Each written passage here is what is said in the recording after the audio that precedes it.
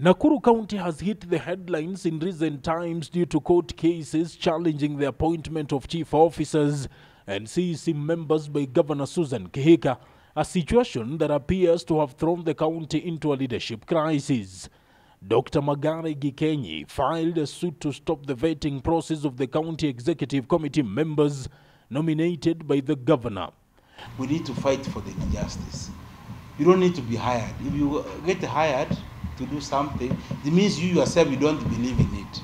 We were in a very difficult situation whereby we we were not able to get even food, to get even where we can sleep. Sometimes we can always we were able to sometimes sleep down. Born into a family of average means, he is the third born among 16 siblings. He studied at Riekemon Primary and Secondary Schools before joining the University of Nairobi where he studied medicine. After 2007, then I was uh, I went different hospitals, including uh, Thika District Hospital. Then I, that was around 2008 and 2009 to Nakuru PGH. Then 2010 to Moro District Hospital, 2011 Elbagon Nyayo Hospital. The 39 year old, viewed by many as the Okiya Omtatah of Nakuru, explained his journey to the corridors of justice. There was one of the American doctors, female doctor, who had come to there. Of course, didn't, she didn't like me a lot. He wrote a letter to the, uh, the school or the university alleging a couple of issues, essentially saying I was not a good doctor. So the dean by then was called Professor uh, Lukoya Tuori, suspended me from Moi University. We went to court through a judicial review and the court essentially found that I was right. Dr. Magare, born in Mokonge village, Kisii County, has a long history with the Nakuru County government. He sued the county government three years ago for stopping his salary while working at the county referral hospital.